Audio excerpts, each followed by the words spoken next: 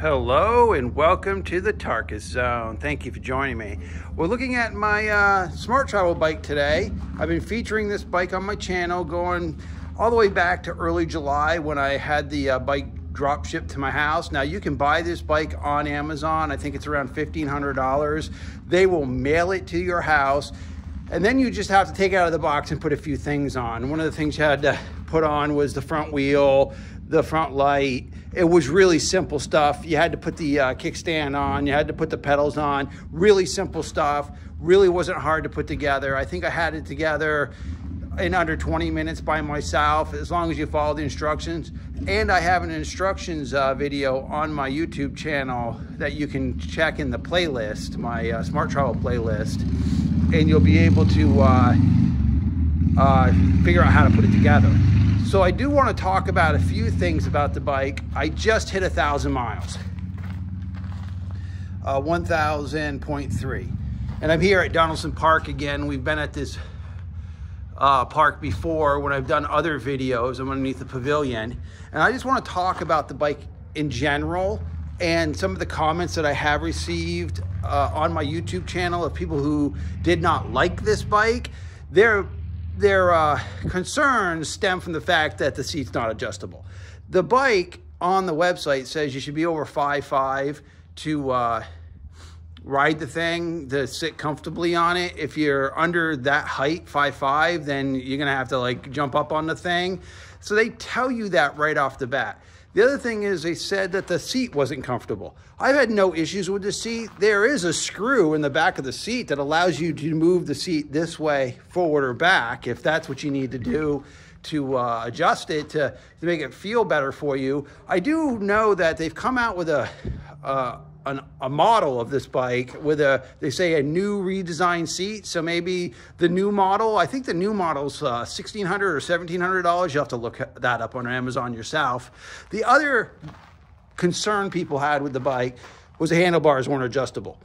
And I find the handlebars perfect for me. I'm six foot one and I find the handlebars to be in the perfect location. Now, if, if you were to bring the handlebars up, your body would, you know, hit the wind more. So I think that to me, the handlebars being low is an asset to the bike, forces you to hunch over a little bit so you don't get wind drag on your torso. So, I mean, those are the couple things that people complained about the bike. Now, the bike description on the website says the bike will go up to 34 miles an hour. Now, that's where the speedometer that they give you with the bike caps out at 34. It will never go higher than 34 miles an hour.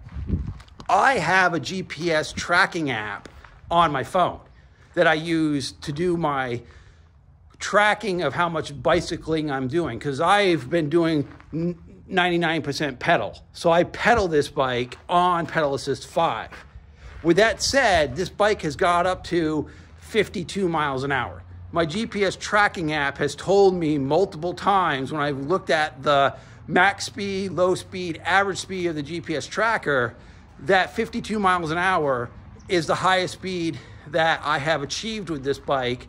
And that's a couple hills here in Grand Isle on Route 2 where I've achieved that. So this bike goes quite fast, even though the speedometer tells you it's capping out at 34 miles an hour. Now, do keep in mind that if you're going to run this bike in your state or in your community, always follow the safety speed limits. So don't go 50 miles an hour in a 25 zone. That's just stupidity. And I imagine you get ticketed for that. You'll notice that I got these extra lights. It's getting dark here in Grand Isle. So I've got these extra lights that just keep uh, traffic to see me. On the back of my helmet, I've got a light that's blinking. So let's talk about helmets. I would suggest if you want to be the safest person on this bike is to get a motorcycle helmet. I'm just using a, a bicycle helmet because that's where I feel I feel comfortable with this thing. I have a motorcycle endorsement. I have a motorcycle. You've seen it in my other videos. I own multiple motorcycle helmets. It's just that when I'm exercising and I'm pedaling and I'm doing 50, 60 miles in one trip, then the motorcycle helmet just gets too sweaty, it's too heavy for me. So I go with just a bicycle helmet. But I would suggest you getting a robust, good safety helmet for this bike, especially if you think you're going to be hitting the 50 mile an hour mark on some, you know, depending on what hills you, you get. Now, let's talk about the battery life.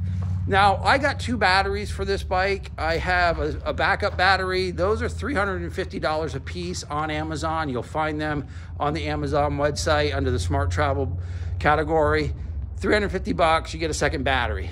That allows me, if I'm on pedal assist five, meaning that it's giving it the most, you're getting the most uh, speed out of the bike, I'm getting about 40 miles, I'd say, before the battery's dead. But then I can just go back to my house and slap the other battery in and, and I'm on my way to do another 35 to 40 miles. So that's 80 miles that I could do on, a, on, on two batteries. Now, if you run the bike on a lower pedal assist, like a pedal assist one, two, three, four, you can lower the pedal assist, it's just this one button here.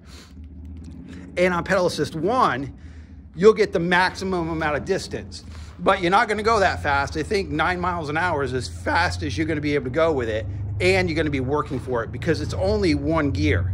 There's no, this is not a uh, multiple gear bike. It's one gear. It's got a throttle here. So you could actually just sit on the bike and throttle it like a motorcycle and never pedal at all. And it will just take you where you want to go.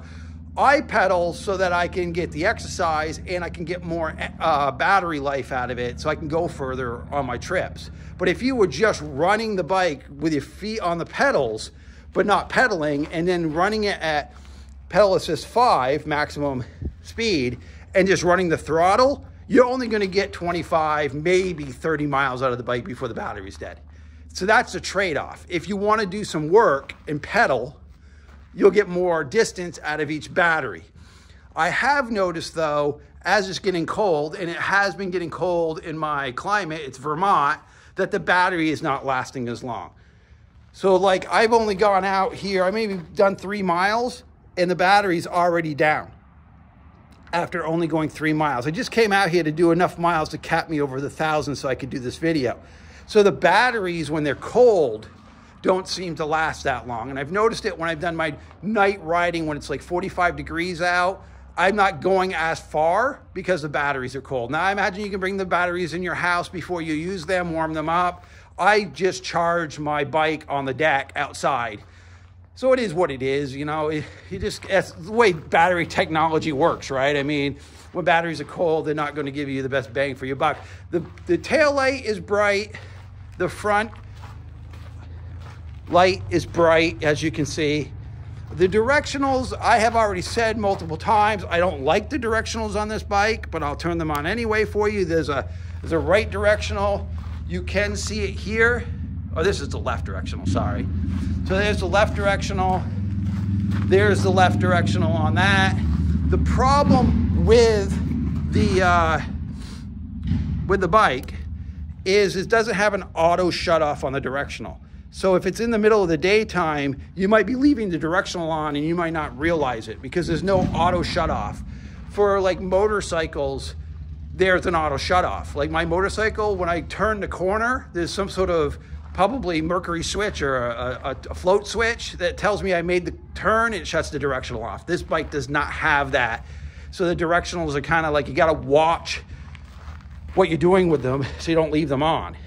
Now, the other big concern I had with the bike when it was really wet out, that the brakes squealed a little bit. Since it's been drier, I have not been getting this squealing, but I have been getting noise out of the gearbox. The other day I took it mudding, and after I took it mudding, I now get a sound coming out of this gearbox. I am hoping, and I've looked at it a couple times, there's some, I could take this wheel off and there's like eight screws that hold this together. I'm thinking, oh, this winter I'll take the the tire off, take those screws out and see if I got to re-grease it or repack it. Because it's definitely, I'm to do it. I'm to lean this thing up on the, on the, on the uh, kickstand. I'm just to throttle it. You can hear it. It wasn't making that noise a week ago. Wasn't making that noise. And it was only after I went mudding with it. And it doesn't make the noise while it's just turning. It's only when I'm applying the pedal assist or the throttle. So it's definitely in the gearbox. You can hear it. and it will go away. Once I get the bike up to like 20 miles an hour, the noise goes away. But when it comes out of the gate, when you're just starting off, it makes the noise. And as you can see, you can't hear or you can't hear the noise while it's just turning. So it's not a not an issue with a spoke being out of alignment or the tire itself being out of alignment. It's actual gearbox. I think I'm gonna have to repack it with grease. Which I mean, I got a thousand miles, and I've put this thing through heavy, heavy wear conditions like deep water, thick, thick mud. I've ridden it all summer in the rain. I mean, this thing, I have put it through its paces, almost like I'm trying to destroy it. But here we are. Um, I have my neighbor here revving his motorcycle. He's just doing, he's just been going back and forth. I don't know if you can hear it or not, but he's just revving it. I think he sees me out here uh, making a uh, video on my bicycle and he's feeling it's necessary to show me up with his loud motorcycle. I, I don't know. He just, he's almost like trolling me out here now because he's made like three circuits around me with the noisy bike. I don't know if you can hear it or not, but I definitely can hear it. So here we are. I mean, the bike, I still recommend it. I'm going to look into the packing, the grease packing. As for the brakes, those are still running fine. I they were like I said, they were squealing a little bit when they were wet. But you know, that happens, but I've looked at them, they don't need to be replaced. So other than this back noise off the gearbox, everything else is to my liking. It, it's, it's worked great. And even if the gearbox blew up today, I think I got my money's worth out of this bike. A thousand miles since July is what I put on this bike. Here he comes again. You can probably hear him. he's now revving the thing up the road here. oh, whatever, you know. People want to do their own thing because if he finds that to be fun, then let him let him be at it. You know what I mean? All right. So I hope I uh, answered some questions or or some concerns people had just talking about the bike. And as being a person who's ridden the bike, I I recommend it still. I will be updating my uh, YouTube channel on my travels with this bike through snowy and slushy conditions during salt conditions because in Vermont we're going to get snow we're going to get we're going to get the whole gamut of mother nature in the next few months so I'll be out and about I'll probably repack that gearbox I might actually just talk to the local bike shop down the road and see if they'd be willing to repack that gearbox for me. I mean, I guess that that might be just what it is. It just needs a little grease because, you know, it's gone through its paces through mud. Uh, I mean, I can't just, I make it a list a bunch of things that I've done with this bike that people would say that I was insane. But I like riding insane stuff and I like doing insane things. So here we are. All right. Well, thank you for joining me. And this has been the Tarkis Zone.